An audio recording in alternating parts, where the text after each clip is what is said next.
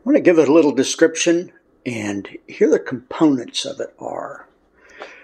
Okay, this is the motor that I'm going to be testing. It's a sewing machine motor, a stepper motor, about one horsepower, speed control, and controller in the back. The components that uh, make up the dyno are pretty simple. All right, first is the Arduino Nano, which is this is the processor and hooks up with a USB cable to my laptop. Here's a Hall effect sensor right here. It's hooked up next to the motor. These two gizmos with the red dots on it are two magnets that spin around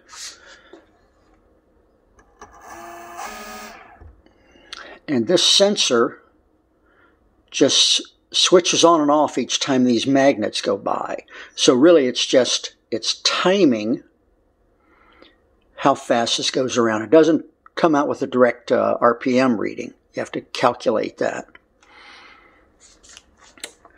All right, the next component, or really the last component, is the load sensor, the load cell. This, this load cell is rated at 5 kilograms. It comes with its own little amplifier board and four wires. It's secured at one end, and this is like a beam that you're measuring the bending on it. And that is calculated into a, a force.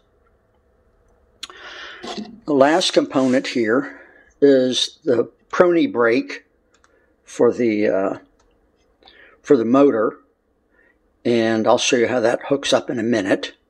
But uh, here we are with a complete setup. Okay, so I've already talked about the Hall effect sensor, which use that to get the uh, RPM. Here's the load sensor, load cell, and when it there's a piece attached to it. When it presses down, when I press down, this load cell bends uh, the signal goes to the amplifier and then over to the Arduino. Rather. Let me put the Prony brake on, show how that works. It just, it's like a clamp on the pulley, and I tighten it up to adjust the how hard it is gripping, how much resistance it puts on the pulley. And then you can see where it pushes against the load cell as the thing rotates. Let me turn this on just a little bit.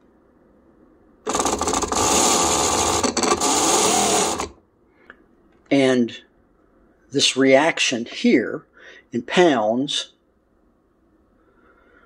along with the radius from the center line here to the point of contact, you calculate how many pound feet of torque you're getting. So the pound feet of torque plus the RPM, you can take and figure out in the distance. You figure out the torque, and then you can uh, calculate that directly to the uh, to the horsepower. The cost of this thing, okay. This Hall effect sensor, I got two of these for about twelve dollars. Uh, they come with uh, washers and magnets. The Nano, I actually got this uh, at an Amazon bin store with return stuff and happened to see three of these. Got three of them for five bucks. I think even if you buy them outright, they're like twenty or thirty dollars, maybe. The uh, the load cell, I think I got two of those for 12 bucks. And, uh, and that's about it. And then had to do the wiring. The way I've got them wired up, okay, the, uh, the load cell has four wires, and this is the, this is Arduino Nano, Arduino Nano that I've got hooked up. So I've got four wires coming in from the load cell, and then I have from the Hall sensor, I've got three wires coming in. So basically on this, I have a 5 volt and a ground, and that goes to each of those sensors, each of those two sensors. Then the black wire is a sensor that goes to the uh, uh, is input from the Hall sensor, which just really is a pulse that goes on and off, on and off. So twice per revolution. The uh, the purple and the blue wire are the uh, the data signal and clock signal from the little amplifier board from the load sensor. And that's it for the hardware. So pretty simple and inexpensive.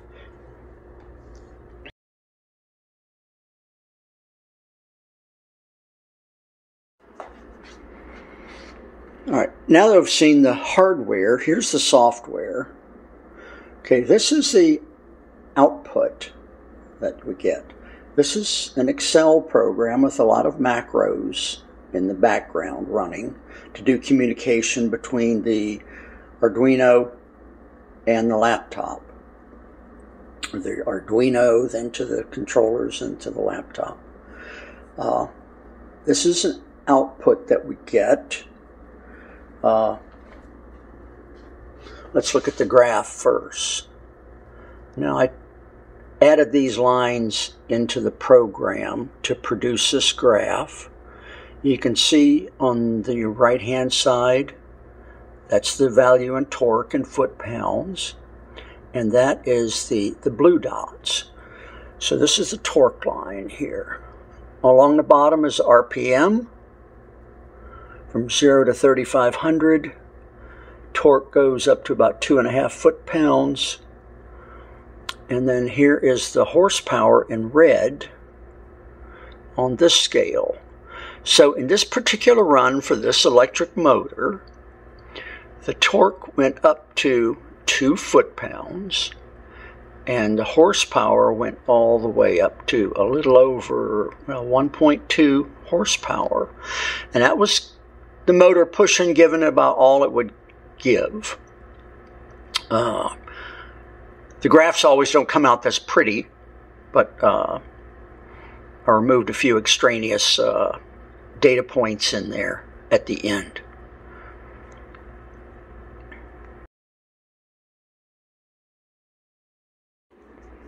Here the programs are. Okay, so we've got this macro here, and the basics of it were by this guy, NetDevil. He's on the Arduino forum. And uh, PLX DAQ, the data acquisition, uh, was originally from the uh, Parallax stamp program, oh golly, probably like 10 or 15 years ago. He's modified it for, and this communicates between the Arduino and the Excel program. Now, a lot of this is pre-written. It's uh, open source, so you can do whatever you want to with it. As a dyno runs, it picks up the RPM and the force. It also does the timing and the, uh, you know the timer and counter, and so this run really only had had eight data, data points on it, and you can see them over here. And now I'm going to show you the Arduino program in the background. Let's see here. Let me get that up. Okay. So this is the Arduino program. And uh, everything in light gray is just a comment. And so you can see the darker ones are the actual code in the program. So that's it. That's all there is to this program. And within this, I take and do the calculations on uh, uh, from the Hall sensor, taking the count and converting that to an RPM by just doing some simple math. I average a few points uh, from the Hall sensor so that I get a, a, a better RPM curve. And then down here, we've got, there's a program built into the background for the load sensor. So this picks it up, convert that to a torque, and then convert that to a horsepower. And then it's all printed out. So that's about all there is to it.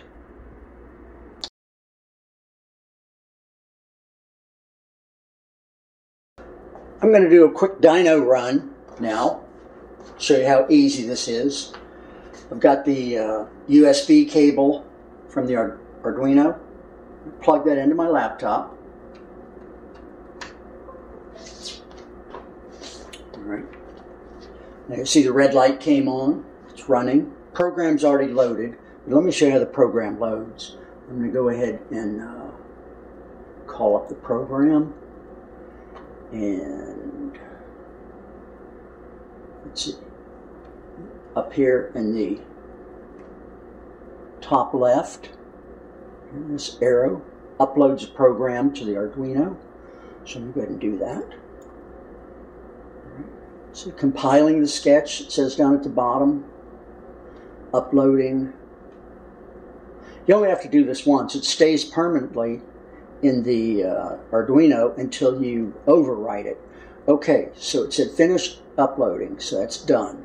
Okay, now I'm going to go ahead and minimize this. So first thing we're going to do is we're going to connect. The Arduino is already plugged in. I'm going to do a connect. All right, now that erases all the old data. Now it's ready to go. I've got this set the torque arm set about where I want it. So I'm going to go ahead and here's the throttle. Go ahead and do a quick run.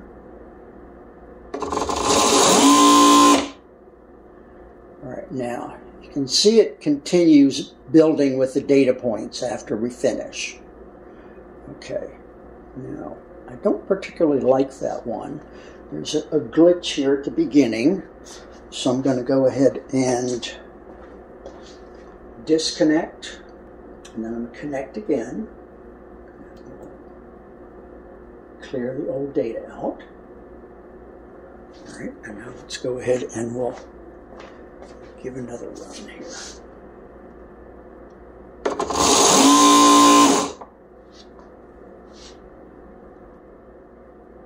Okay, that looks pretty clean. and very similar to the other run that I had. But uh, now you've got all this this data set over here. If you wanted to uh, manipulate the data, convert this to kilowatts, you could convert the horsepower to kilowatts and put a kilowatt per uh, column in. But uh, that is how it works. So I'm going to go ahead and disconnect now. Green button.